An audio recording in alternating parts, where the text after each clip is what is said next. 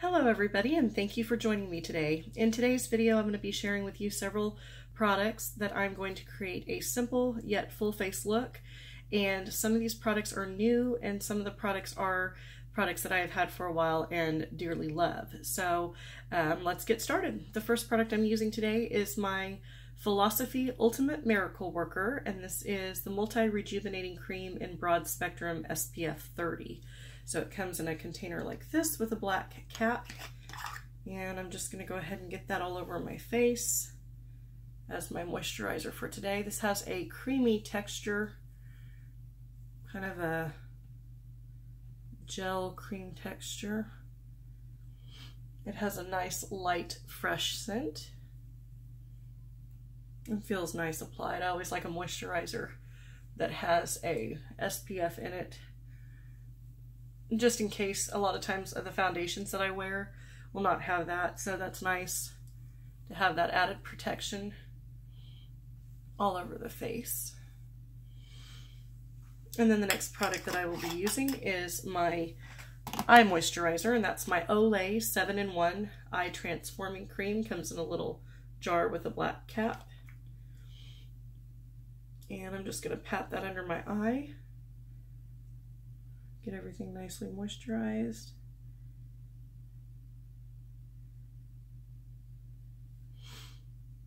My eye area always feels so dry in the mornings, so it's imperative that I get it nicely moisturized for all the rest of the products that I'll be putting on my face.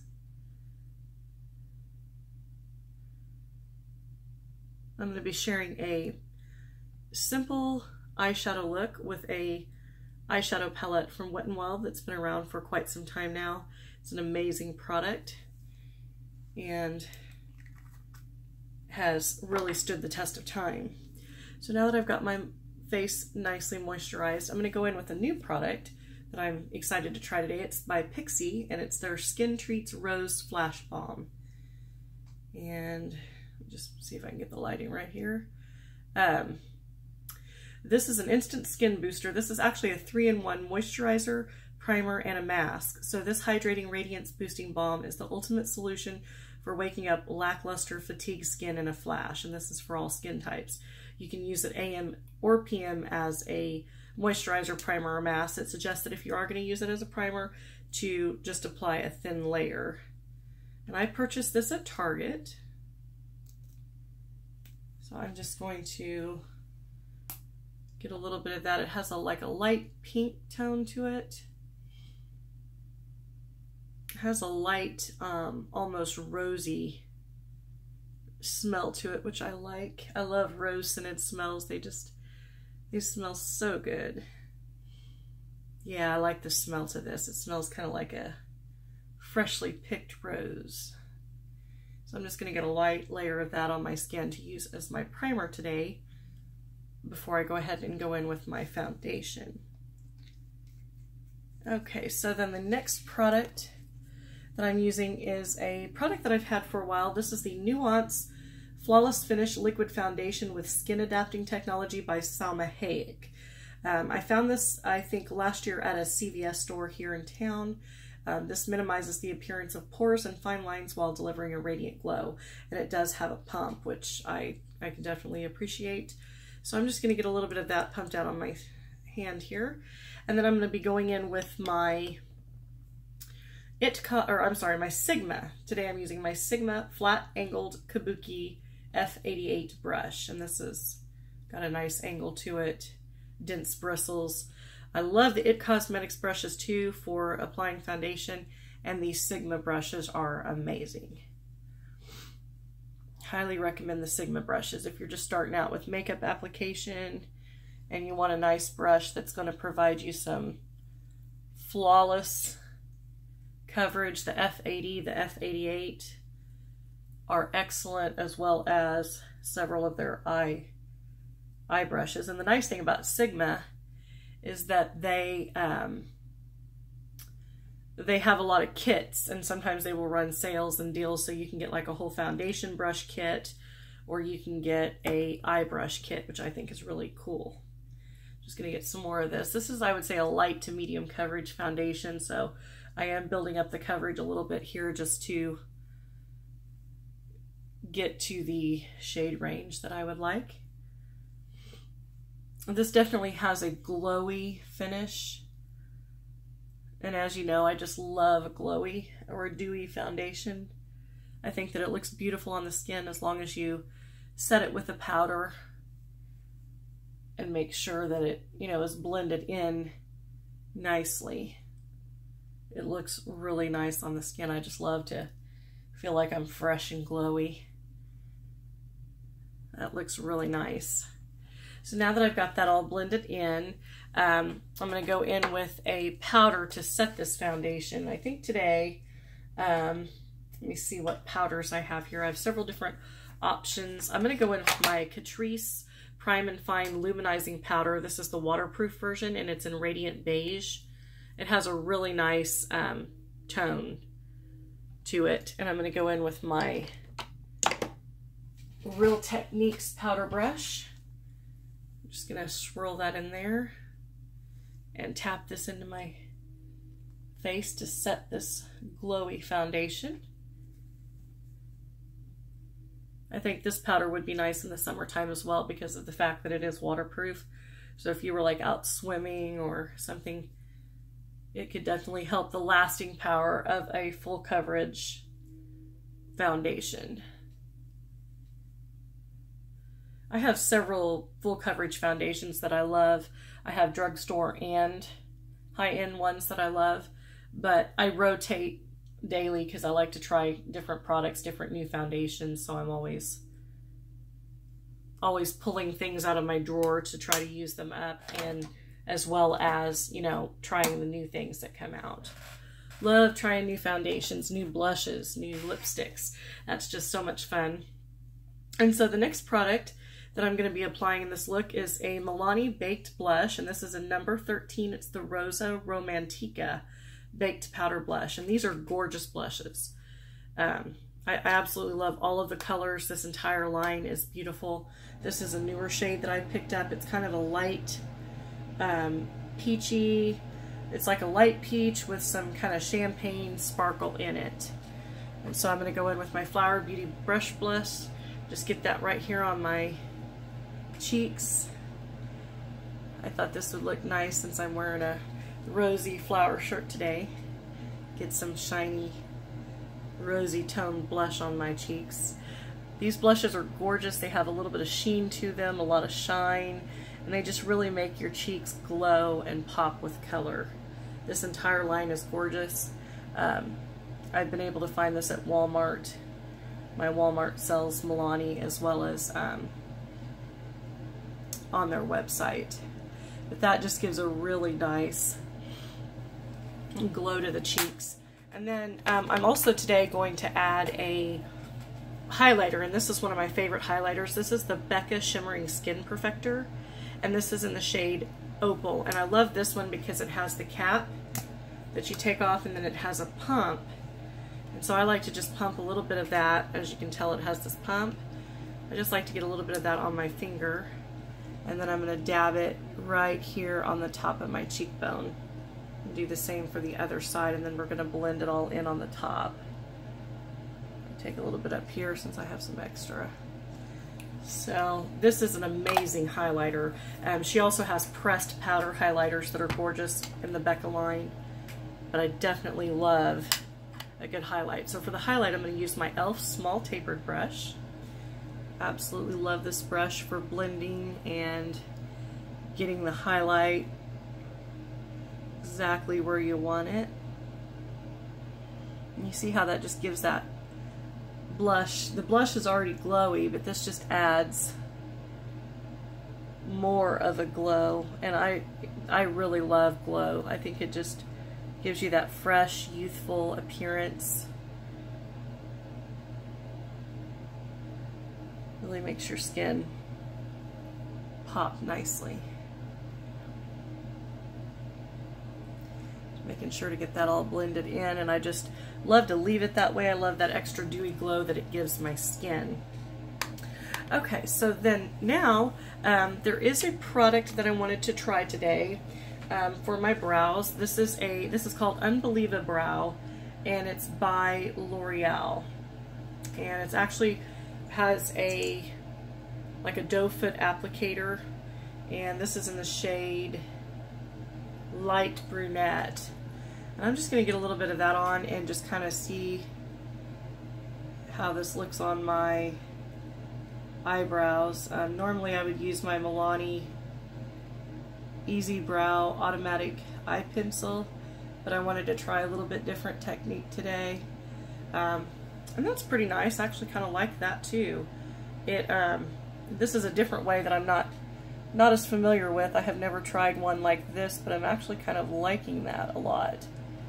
Since I have such light colored brows, I have to basically draw on a brow and I like to have deeper darker brows but this is really cool I'm liking this it just has like a regular doe foot applicator that you would use to apply lip gloss or a liquid lipstick and this is really nice this is in light brunette and I like that so if you you know if you're wanting if you don't have much eyebrow hair like I don't and you're wanting something to kind of deepen up the color this is a good option it comes in a, in a tube and and I really like it. That was my first time using it, but I would say for first impressions, it's good. So I will continue to use that and see um, exactly how it works.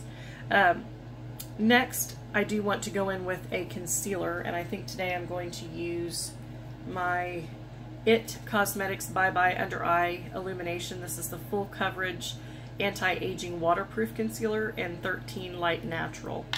This is a little squeezy tube, and what I like to do is just get a little bit squeezed out, and then I just kind of let it warm up in my finger right underneath my eye. And then I'm going to go in on the other side and do the same thing. Just to kind of conceal these dark circles add a little bit there, then I'm going to blend it back in. This is best for under eye because it is very thick. It's very creamy, so I would recommend only using that on um, your under eye, but there are definitely other concealers that work great for other places. So I'm going to go back in with my Bare Minerals Bareskin. This is the Complete Coverage Serum Concealer, and I'm going to use that just to conceal around the nose. I like the texture of this concealer. It's thin, but it has really good coverage and pretty good staying power as well. So now let me get a dense brush over here. I think actually I'm going to use my EcoTools Ultimate Cover brush. This is so nice because it's extremely densely packed bristles and I think it just blends concealer in beautifully. So if you're looking for a good concealer brush, I'd recommend checking this out at Ulta or Walmart. I just love, it comes in a three pack and I just absolutely love these brushes because they're so densely packed that they really conceal everything beautifully. You can really get the fullest coverage, which is nice, especially with something like the IT Cosmetics, which really is um, potent. So that's definitely a high, highly recommended brush. These, these brushes are so amazing. So then the next um, product that I'm going to use is we're going to go in with the eyeshadow look that I was explaining. And I'm going to use a primer today. It's the Lorac Behind the Scenes Eyeshadow Primer. I just have this little tube of it. Um, I think this came with a eyeshadow palette that I had bought back in the day. So I'm just going to get this all over the lid. Make sure to go all the way up to the brow bone. Um, my other favorite primers are the Milani. The Milani eyeshadow primer that you can get at the drugstore for like five or six dollars is amazing. And then Ulta also has a really nice full coverage primer that I think is like $12 and I really like that too. I mean primers are primers, there's not a whole lot of difference. Some of them do feel Um, like I think this one feels a little more thinner. I like the Milani because it, it feels really tacky. Has a little bit of tackiness without feeling too tacky, which is nice. And then for today's look, it's going to be simple, but I am going to use my Wet n Wild Sweet as Candy Eyeshadow Quad, and I have had this for quite some time.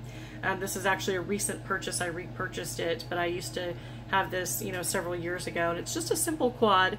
You can um, find this at Walgreens.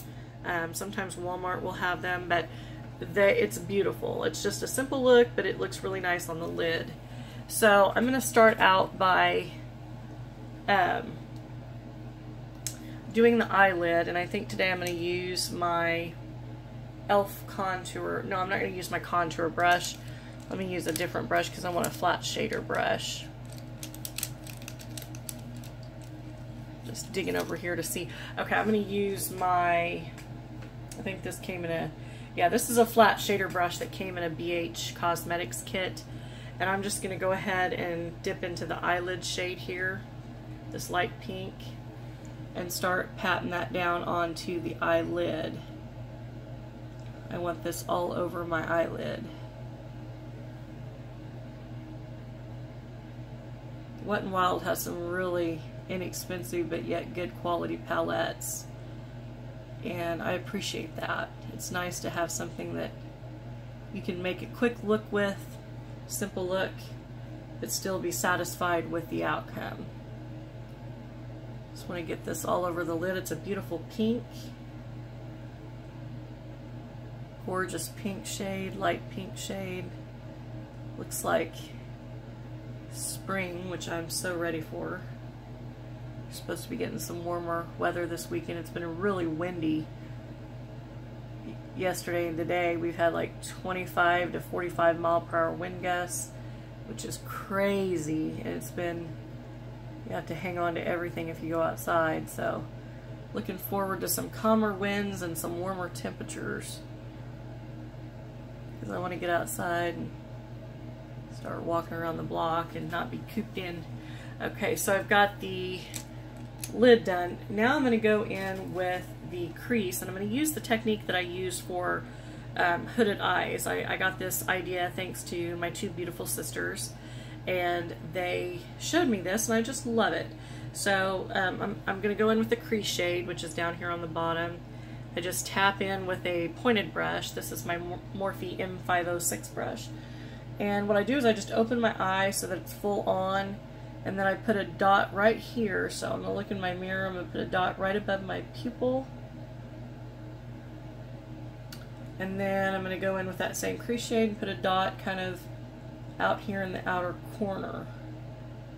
You got a dot right above your pupil, and then you just take a, a blending brush and you swish them together.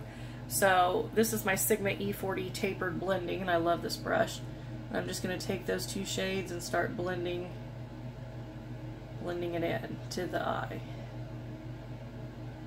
And you just use that back and forth like windshield wiper swish, swish, swish motion.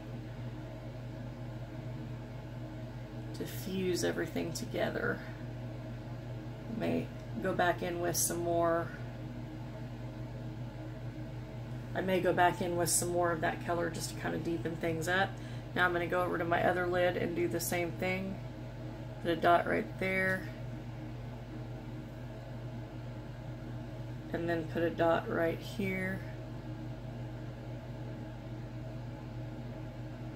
And then do the same thing. And then the nice thing about this technique too is if you don't get enough color, you can always go back in and blend or add additional color. But this just helps, especially if you have hooded eyes, it helps to kind of create that crease and give you some definition. Um, because when my eyes are open, it's hard to see a crease. Especially if my eyes are all the way open, they tend to as you can tell, it kind of just, the crease kind of goes away. So I have to like make a crease and go higher than just putting it right there. Because then when, if I put it down here, it just kind of blends into the eyelid and you don't see as much color when you're, when you got hooded eyes. So this is pretty cool. I think I am going to go back in and just add a little bit more definition right in here. This is such a simple eye quad, but it's nice. And then another thing you can do that I like to do is you go down like a backward seven. So you pull the color down like this on the sides to create that outer crease. And then we're gonna go back in with this brush and just blend everything out. So as you can tell, I'm just blending the down the up, upside down seven. And then that way when my eyes are open, it looks like I have a crease. And I'm just loving that technique. I think it's so awesome. I'm so thankful my sister shared that with me. Thank you, sisters. Appreciate that. It's definitely helping with hooded eyes. Definitely.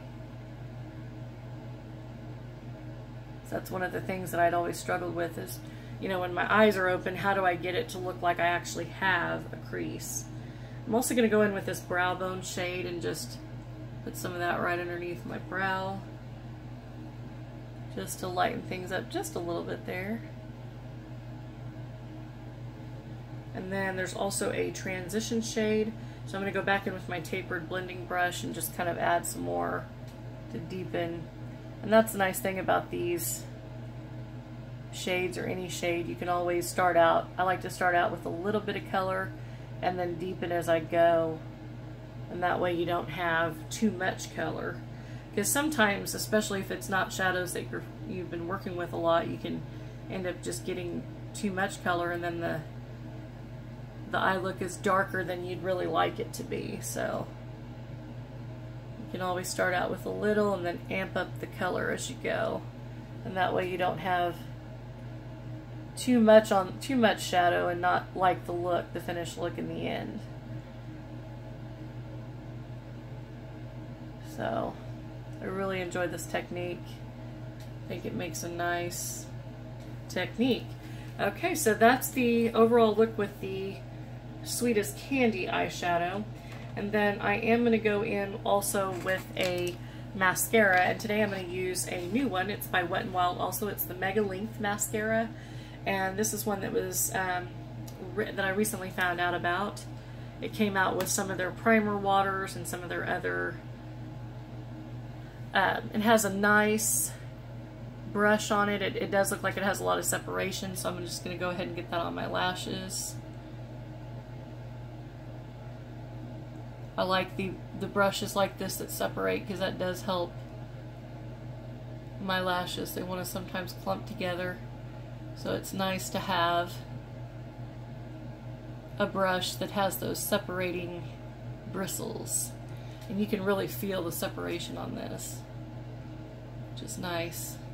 This is an inexpensive mascara and so far I think it's doing a really good job of separating the lashes and even providing some length.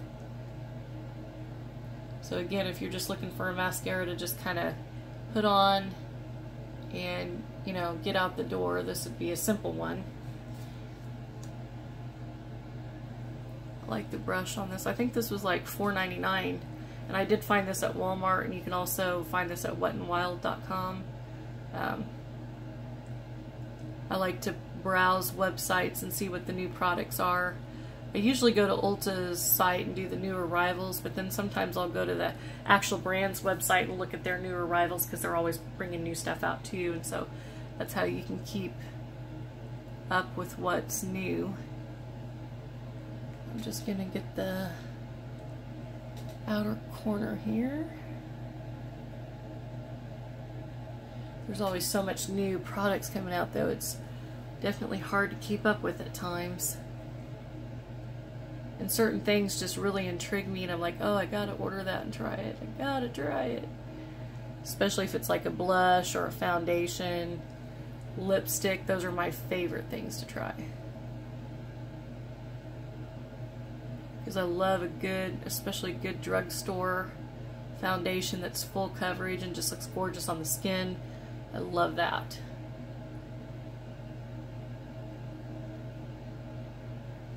I don't think there's going to be one that can top the Infallible. The new L'Oreal Infallible Freshwear 24 hour one is so good.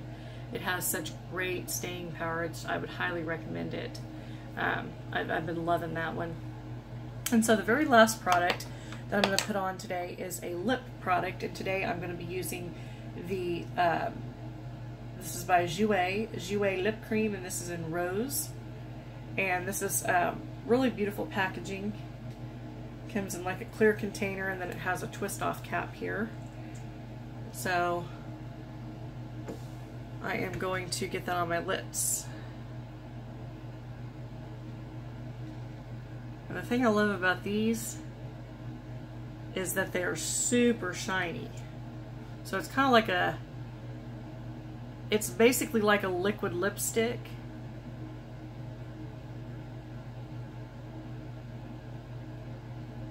With a lot of metallic shine to it. So I think it's gorgeous. I love it.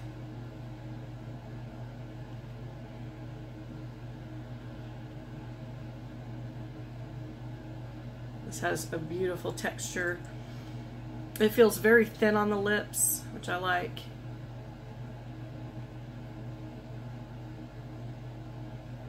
And it just looks gorgeous.